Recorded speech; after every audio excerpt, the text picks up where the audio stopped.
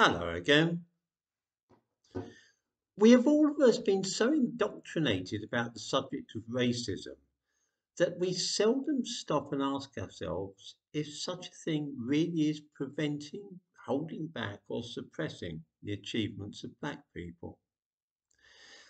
I say specifically black people because other racial groups do not seem to be disadvantaged by their ethnicity. Gujarati Hindus of Indian origin, for instance, earn more, are better qualified, and tend to have more successful careers than white people in Britain.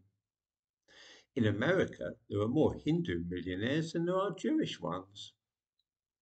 Chinese people do not seem to be hindered either by belonging to an ethnic minority, they too have higher incomes than white people as a rule.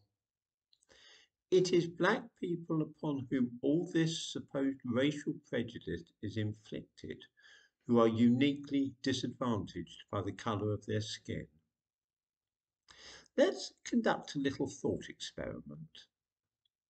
I mentioned yesterday that an African American YouTuber is convinced that he cannot find a publisher for his books because he says the publishing industry is controlled by women, white women, and homosexuals, neither of whom wish to publish books by black men.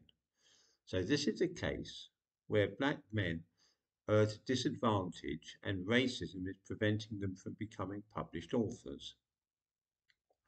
Let's imagine how this might work if true.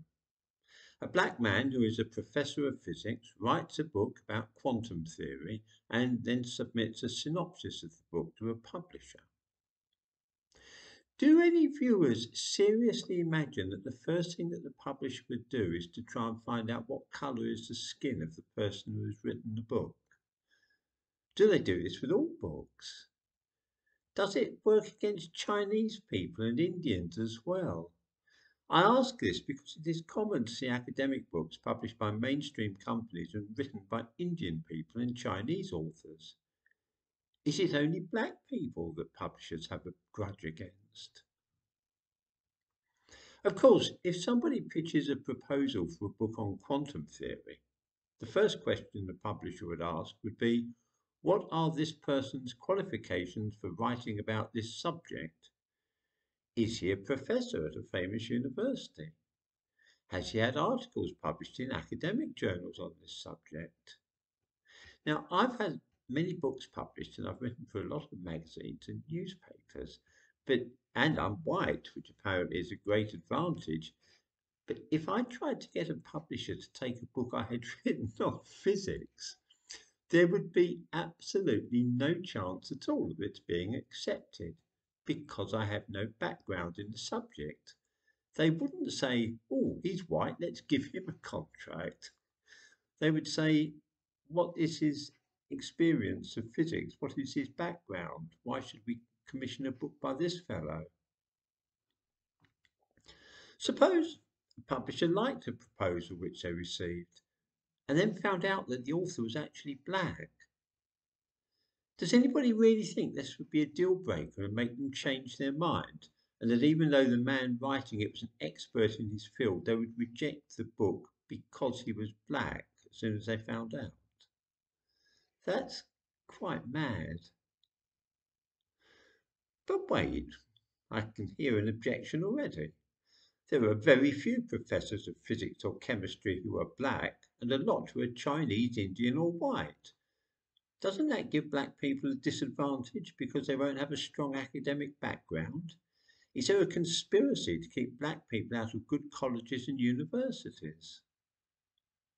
Here's another thought experiment.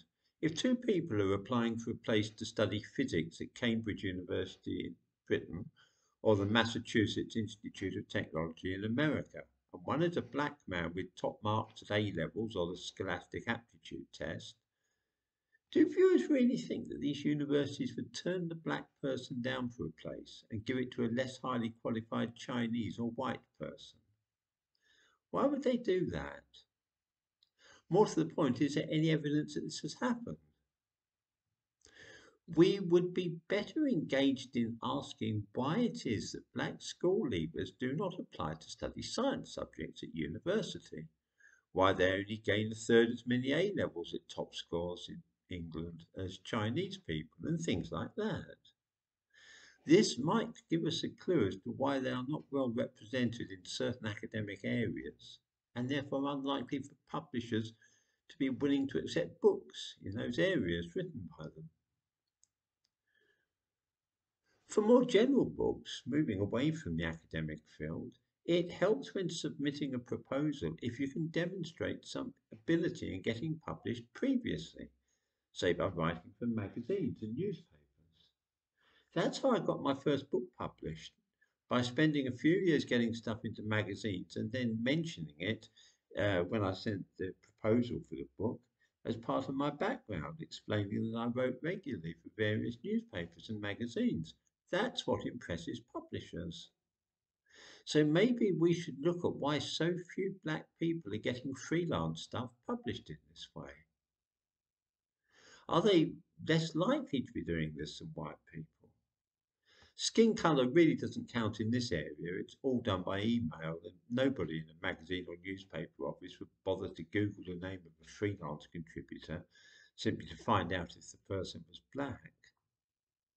In short, I can see many reasons why black people fail to get on in this particular field, that of writing books and of writing money, writing generally for money. But none of it has anything to do with racism. This is a field which I know about, but I think it very likely that the same applies to other areas. It's not racism holding back black people, but rather that they tend to have other interests and don't put in the legwork necessary to get on, whereas many white people and Chinese people do so and then get on in whatever area it is they've chosen.